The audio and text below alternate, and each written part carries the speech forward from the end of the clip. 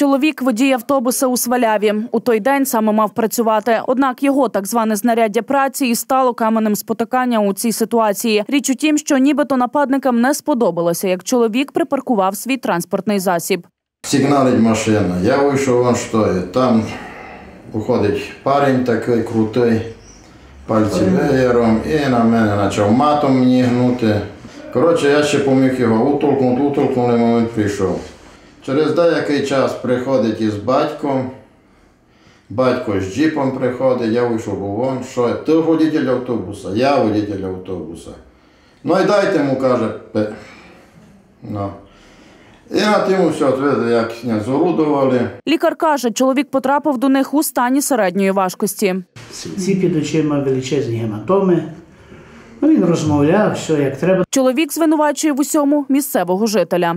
Ніякого конфлікту я з ним не мав, ні доті, ні по тому.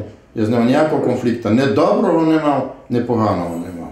Дружина пана Василя зізнається, таке в їхньому житті сталося уперше. Жінку це неабияк налякало. Тепер вона відчуває себе у небезпеці.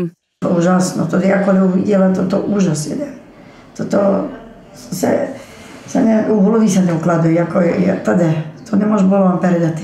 Чоловік у той же день написав заяву до поліції. Однак скаржиться, пройшло уже два тижні, а досі ніхто цією справою не займається. У поліції ж нам повідомили, наразі тривають слідчі дії, опитують свідків та чекають результатів судмедекспертизи.